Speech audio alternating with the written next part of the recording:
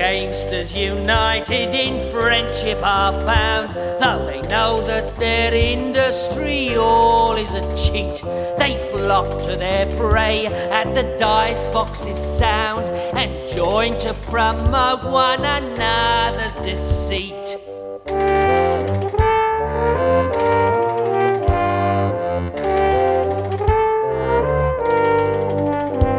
But if by mishap they fail of a chap to keep in their hands, they each other entrap like pikes lank with hunger who miss of their ends. They bite their companions and prey on their friends.